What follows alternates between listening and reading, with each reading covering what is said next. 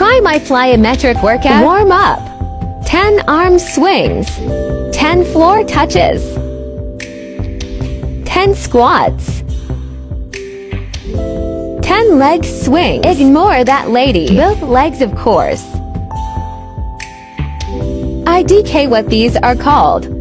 I got them from Isaiah Rivera Do It. 10 reps each leg. You should be warm now. Workout. Grab light dumbbells. 3 sets of 10 pogo hops. Point toes up on these. 2 sets of 8 bench jumps.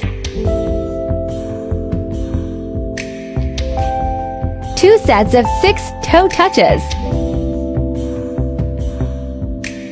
4 sets of 12 tuck jumps. 3 sets of 5 depth jumps into box jump. 3 sets of single leg depth jump